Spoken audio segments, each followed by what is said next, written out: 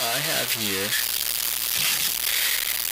EAS Advan Edge Soy Protein.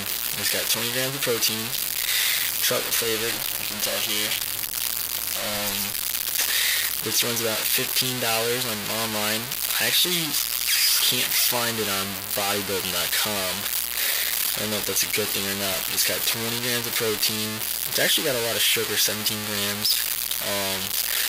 Calorie-wise, got 170. Um, no cholesterol. Little sodium, potassium. But it's not that good. It's um not that great. It takes forever to mix. I'm still mixing it. It's been about a minute. And I mean, I guess it's good to take in the morning or a midnight snack, I really don't recommend taking it and replacing regular protein. But I actually got this for free. It's the only reason why I even have it. I've heard a lot of good and bad things about soy protein. But I don't know. Do you think, guys?